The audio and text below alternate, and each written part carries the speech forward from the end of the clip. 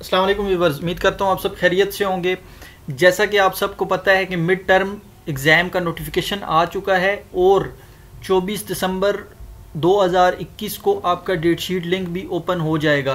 कल जुम्मे वाले दिन 24 दिसंबर को आपका तीन बजे डेट शीट लिंक ओपन हो जाएगा और आपने डेट शीट कैसे बनानी है डेट शीट में किन किन बातों का ख्याल रखना है, आया कि आपको डेट शीट एग्ज़ाम के लिए वैक्सीनेशन सर्टिफिकेट चाहिए, नहीं चाहिए, ये तमाम चीज़ें मैं इस वीडियो में बताऊँगा। मोर ओवर कुछ इंपॉर्टेंट चीज़ें बताऊँगा जो कि आपको बहुत ज़्यादा फ़ायदा देंगी। इस रिलेटेड कि आपने डेट शीट बनाते हुए किन बातों का ख्याल रखना है ताकि एक बार मिस्टेक हो गई तो वो चेंज नहीं होगी। इसलिए इस वीडियो को एंड तक देखें ताकि आपको ज़्यादा से ज़्यादा फ़ायदा हो। इससे पहले अगर आपने हमारा चैनल सब्सक्राइब नहीं किया तो इसको भी सब्सक्राइब कर दें ताकि हमारी हर आने वाली वीडियो आपको आसानी से मिल सके।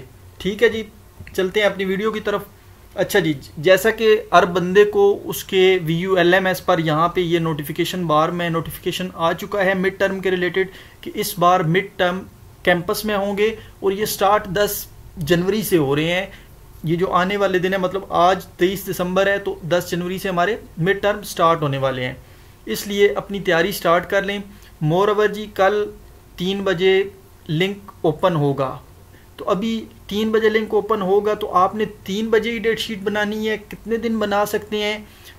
ये है कि तीन से चार दिन तक का आपके पास टाइम होता है, या फिर मोस्टली एक वीक भी दे देते हैं, क्योंकि न्यू स्टूडेंट्स होते हैं, उनको आइडिया नहीं होता।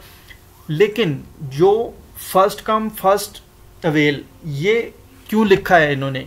First come first serve basis academic calendar first serve first come का मतलब ये है कि आप अगर पहले अपनी डेट शीट बनाते हैं तो आपको अपनी मर्ज़ी के मुताबिक जो भी आप टाइम सिलेक्ट करेंगे, कि मतलब आपने पेपर सुबह आठ बजे रखना है, नौ बजे रखना है, बारह बजे रखना है, अपनी मसरूफियात को देखते हुए तो वो आप मैनेज कर सकते हैं इजीली ठीक है जी? जैसे ही आप डेट शीट का वो लिंक दिया जाएगा नोटिफिकेशन में, उसके ऊपर आप क्लिक करेंगे तो आपके सामने आपका एल एम एस ओपन होगा तो उस पर लिखा हुआ आ जाएगा जी कि आपने अभी डेट शीट बनानी है।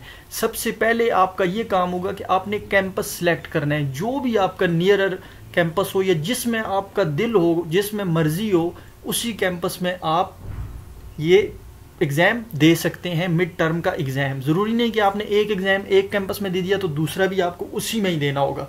जहाँ आपको इजीली मतलब कि एक्सेस हो, वहाँ आपने मतलब कि अपना कैंपस सेलेक्ट करना है। पहली बात तो ये होगी, दूसरी बात ये माइंड में रखनी है कि टाइम को आपने अपने हिसाब से देखना है। और अगर आप चाहते हैं जी कि आपको अपनी मर्ज़ी का टाइम मिले तो फिर आप कल तीन बजे अपना V U L M S open करके बैठ जाएँ, ताकि जैसी ही डेट शीट ओपन हो तो आप अपनी मर्ज़ी से डेट शीट बना सकें। लेकिन जल्दबाजी नहीं करनी, मैं अगेन बता रहा हूँ कि एक बार अगर जो आपने कर दिया तो वो चेंजिंग नहीं होगी। ठीक हो गया जी? लेकिन फिर भी अगर कोई मसला आता है, आप कमेंट बॉक्स में हमसे पूछें, हमारा व्हाट्सएप ग्रुप ज्वाइन करें, वहाँ हम आपको गाइड करेंगे। ठीक है जी? इसके अलावा एक चीज़ तो ये होगी कि आपने टाइम को देखना है कैंपस देखना है। कैंपस आप कोई भी सिलेक्ट कर सकते हैं। ये दो चीज़ें हो गई। उसके अलावा जी, मैं ये भी बताना था कि आपको चाहिए कि आप, जो आपके इजी पेपर होंगे, वो पहले रखें और जो आपको लगता है कि ये मेरा टफ सब्जेक्ट है, वो लास्ट पे रखें। क्यों? क्योंकि मोस्टली स्टूडेंट जो एग्ज़ाम दे कर आते हैं, वो आपके साथ चीज़ें शेयर करेंगे। तो जब चीज़ें शेयर होंगी तो वो ये चीज़ें, कुछ चीज़ें रिपीट होती हैं, उसी में से क्वेश्चन बैंक या जो क्वेश्चन आते हैं, उसी रिलेटेड होते हैं। तो बंदे को आइडिया हो जाता है कि मैंने एग्ज़ाम किस तरह का देना है। ठीक है, ये चीज़ें आपको बहुत ज़्यादा फ़ायदा देंगी, जो इजी पेपर हो, वो आप पहले रखें, जो टफ हों, वो बाद में रखें। इसके अलावा एक और चीज़ कि वैक्सीनेशन का। वैक्सीनेशन का कोई भी इससे तलक नहीं है, आपके पास वैक्सीनेशन कार्ड हो या ना हो, आप इजीली एग्ज़ाम दे सकते हैं, ठीक है? उसके बाद कुछ लोगों को जो है ना डाउट था कि वीयू कार्ड का। ये वीयू कार्ड के रिलेटेड मैंने कंप्लीट वीडियो बना दी है, ये देख लें आप। इनशाला इससे भी आपको बहुत ज़्यादा फ़ायदा होगा।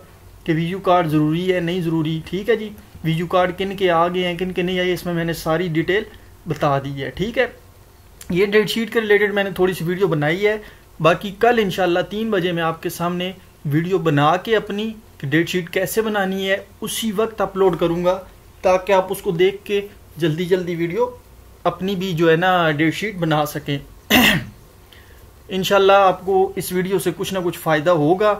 तो अगेन आपका कोई भी क्वेश्चन हो, आप कमेंट बॉक्स में पूछें, हमारे व्हाट्सएप ग्रुप में आकर पूछें, हमारी ऑफिशियल वेबसाइट पर चीज़ें दी हुई हैं, अपनी मिड टर्म की तैयारी करें और अपना ख्याल रखिएगा। अल्लाह हाफिज़। उससे पहले, जाने से पहले अगेन हमारा चैनल सब्सक्राइब करना ना भूलिएगा। ठीक है जी, अल्लाह हाफिज़।